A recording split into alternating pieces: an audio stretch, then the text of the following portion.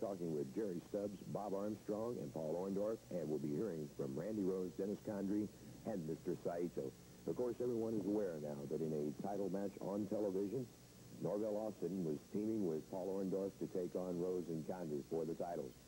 And they won those titles, but in the interim, Norvell Austin was injured.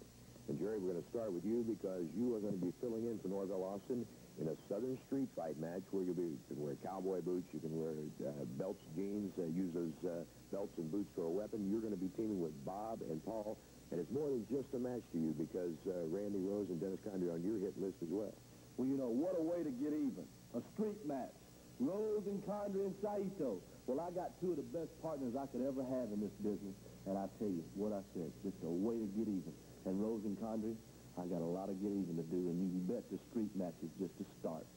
Paul, uh, I know that you're very upset the fact that Norvell was injured. You better believe I'm upset. You know, Norvell not was only just a partner. He happened to be a very good friend of mine. I've known Norvell for over 10 years. We've been together down these roads many, many times. We train together. We do everything together. Well, I'm going to tell you something, Rose and Condrey.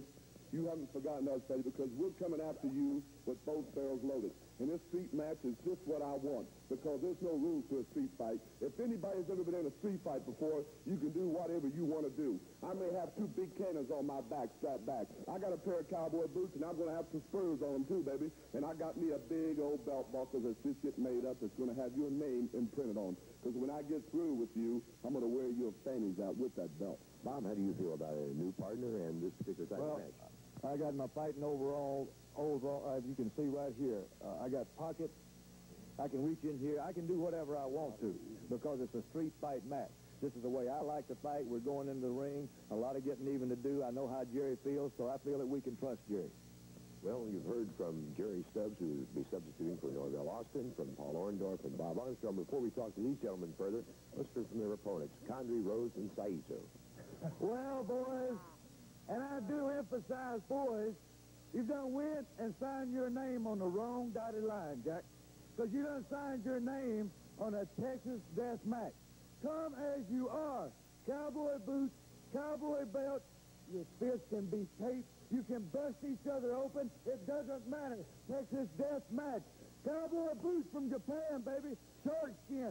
Python from Texas. And my cousin's got his. That's cuz.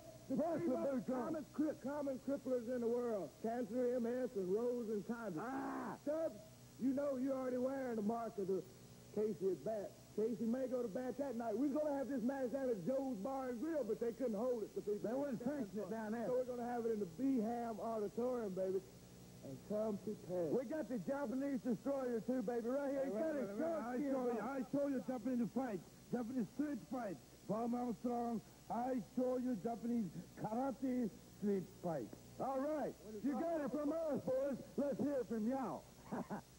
And of course, they did bring out a valid point, Bob. They've used some boards. They've used a lot of weapons, and of course, illegal. I'm going to tell you, I've been salted down, knocked down, kicked around, karate. He's changed my voice. He's hit me with so many karate punches, but I'm still here. I got my overalls on. I'll be in that street fight. I noticed that Japanese cowboy had him some cowboy boots on and a big buckle. Well, I'm going to tell you, what I pull out of these pockets ain't going to be a little bit, brother. And when that street fight's over, it ain't going to be no Texas street fight. We're going to call it an Alabama street fight. We'll call it a Birmingham street fight. But when it's over, they will well remember that day because we're going to make it so they'll never, ever in their lives forget what happened to them in Birmingham on that fatal night, boys. Bring it on. Bring, we're going to wear whatever we feel like wearing. I might buy me some cowboy boots, too, you know, them long high heels, because I know a good place to put them. I got a pair of boots that got a great big old steel toe. Them old ironworking boots that I used to use when I was an ironworker. You can well, let me borrow them. They'll sure do some damage. Amen. I'll tell you something, Lester. Rose, Condrey, Saito, I'm going to have me a pair of boots on and you'll never know the thing that I pull out that hits you because you're going to be laid flat out. Because when I pull it out, you're going to say, oh, my God, here it goes. And it's going to be over. There may be no boards or no chairs in that Birmingham ring, but there'll certainly be boots, fists, and belts. It's a Southern street fight match, and certainly it should be action-packed.